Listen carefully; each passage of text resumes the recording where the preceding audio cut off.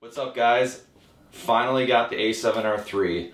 I've been using the a7R II for a couple of years now. It has been an awesome full frame camera by Sony and this is finally here. So I wanted to do an unboxing with you guys. Uh, compliments of Adorama or Adorama, I'm not really sure how it's pronounced. Um, so I patiently waited and Christmas and Hanukkah are not here yet, but I figured might as well just open up a little bit early because I'm really excited and I know you guys are really excited to see what this camera is all about. So, you ready? Here we go.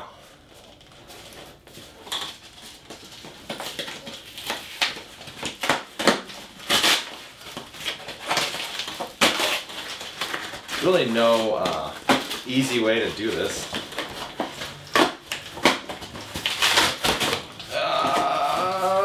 it's here!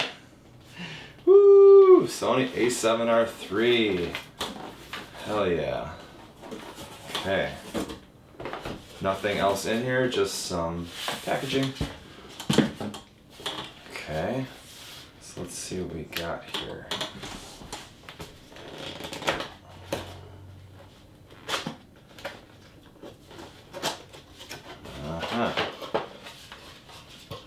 All right, just a bunch of pamphlets, nothing too exciting.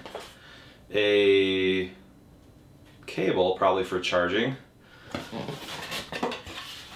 Okay. One of these straps, I have plenty of these. And what do we got here? Oh, sweet. Okay, so this is gonna be for our battery. All right, that's gonna be nice. And I don't know what that is. Ah, a USB 3.0 cable. Okay, so this is for faster data transfers. That's nice. Okay. And this has to be the camera itself. But before we get to that, there's the battery. Oh, this battery is so much larger than the previous battery. Can you can you grab one of those batteries from there? I want to show a comparison. Yeah, right there. Perfect. Yeah. Yeah. okay, so I'm just going to show you a side-by-side -side comparison. This one is from the A7R2, okay? And this one is from the A7R3. It's supposed to be 2.2 times larger and is it larger in capacity or larger in volume? Eh, one or the other. But um, right off the bat, the old A7R2 battery is 1,220 uh, milliamps per hour, and then the new A7R3 battery is 2,280 milliamps per hour. Um, that's awesome because like the iPhone, I'm an iPhone user, they're always saying that the battery's increasing in size, but then the phone's getting slimmer, so you're like, how the heck is that possible? But with this, you actually dramatically see a huge difference in size. So I'm really excited about that. Okay, now on to the big moment here, okay? Need like a little uh, drum roll. All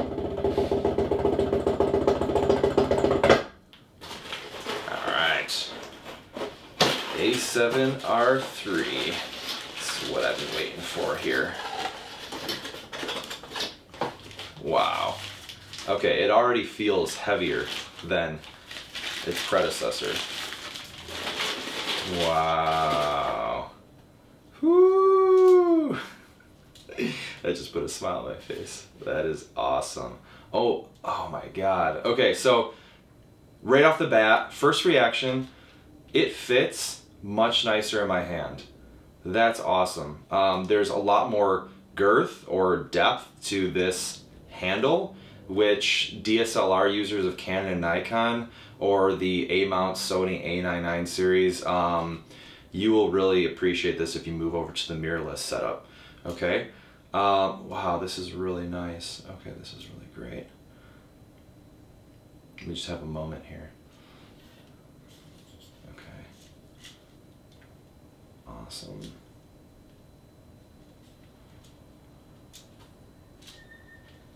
Wow. Okay. I don't want to swear, but this is fucking cool. Okay, so let me go over a couple cool things here.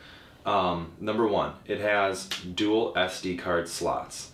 That is really nice. So if you're doing a photo shoot and for some reason one of your cards gets corrupted, you know, your little baby brother reformats it, um, you have a backup card to um, back up all the photos. Um, it's called redundancy. So you could do that, or you can use that extra card slot for double the images. If you have um, two 64 gig cards in here, now it becomes like 128 gig. So that's really nice. The battery is going to be right here, twice as large, fantastic. This is a touchscreen. How awesome is that? We've been using touchscreens with our iPhones and our Samsungs and blah blah blah for a while now, so it's about time that Sony caught up to that on the side here, um, just like before, you have your HDMI out and you have your headphone jack, okay, which is a little bit different than before. And you also have a multi-link charging point and an SS charging point. Hmm, I'm gonna have to look up some of these things and figure out more in detail what they do. And then in this third slot, um, you have a tethering input and then a place for your plug-in power. So like I'm recording this video right now with a shotgun mic made by Rode and you would plug that in right here. Um, I will say this, I wish that Sony didn't use these little flimsy doors because on the other side they're not using the flimsy door anymore that just pops open, which is really nice. A7R2 did not have that. Um, okay, so let's turn this sucker on and let's see if uh, I can show you a little bit of the camera itself. This battery is so much bigger. That's awesome. It's definitely heavier, guys. With this extra battery, it's definitely gonna be a little, a little bit heavier, so you might want to uh, start going to the gym, build some of those muscles. And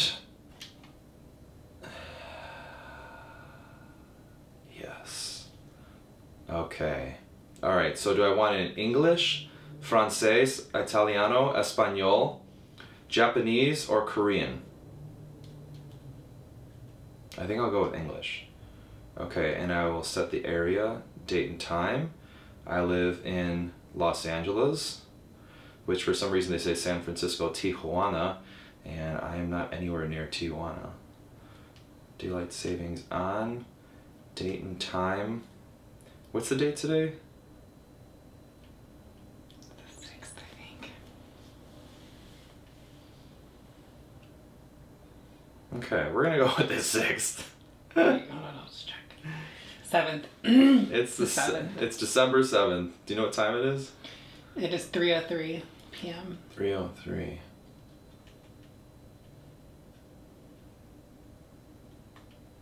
Sweet. Okay. Month, date, year, sure. Alright, Sony. I felt a little movement in there. Okay, as you can see, the battery is completely empty. I did purchase an additional battery. Um, can you hand me that box right there? Yeah. Thanks. So, I knew I was gonna need some accessories, so I did purchase an additional battery. I may end up needing another one. Uh, these aren't cheap, they cost about $80 per battery. Um, I purchased an additional Extreme Pro SD card. Um, this isn't the fastest one out, but from the um, testing I've seen of the A7R3, that its buffer speeds actually do even better than the A7R2 with an even crappier card. After like, like one of the crappiest cards I've seen. So this is like second best in the running. And I feel like you have to have this. It's a screen protector.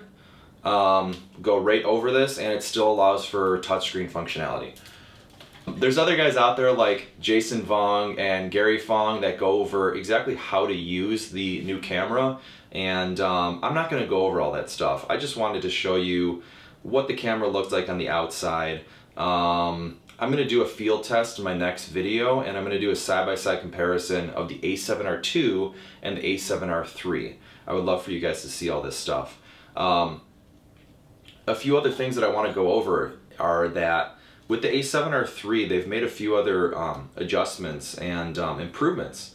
So I've heard that the resolution while you're looking through the um, viewfinder is um, way better than before. And I've also heard that while you're looking at the touchscreen, the resolution is enhanced as well. Um, they did move the movie button right here. It used to be on the side. And they now have this little joystick right here. So if you want to find your different focus points, um, you can move the joystick, which is really nice, or you can actually touch the screen and focus on who you want to focus on. Um, the uh, custom buttons, it looks like they've moved uh, C3 over here and um, they just feel a little bit heftier. Um, everything just feels a little more solid. I know they used a magnesium alloy body in the previous chassis. I don't know if they're using the same one as before, but um, yeah, I mean, it, the A7R2 did feel really great too. So um, I'm going to continue using this with uh, the G Master lens setup. Uh, I've got the 85 mil and I have the 16 to 35 Zeiss version. But um, I'm thinking about going back to either the 24 to 70 and um, I know this body's really going to handle it very well. So thank you all for watching. I look forward to showing you some test shots of the A7R3 with off-camera flash, uh, with natural light, and then doing by side-by-side -side comparisons with the A7R2. Alright, thank you guys very much for watching and have a great day.